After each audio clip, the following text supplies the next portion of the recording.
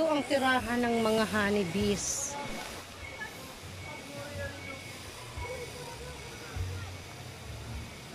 Ayan.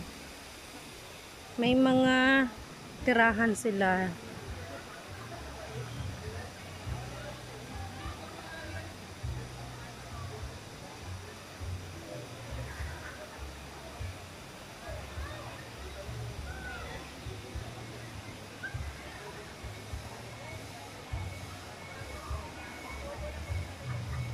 Marami silang beehives hanggang doon.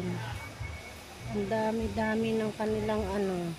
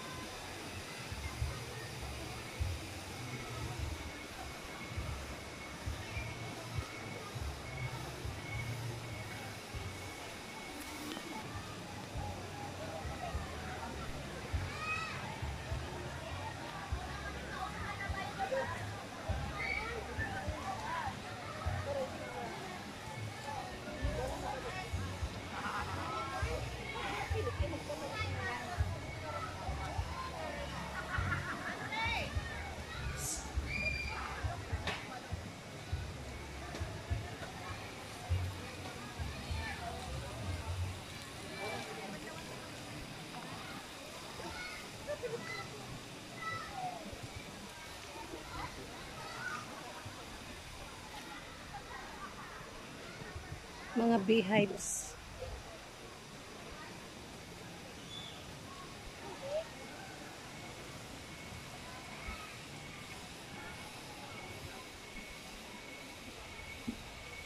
Beehives.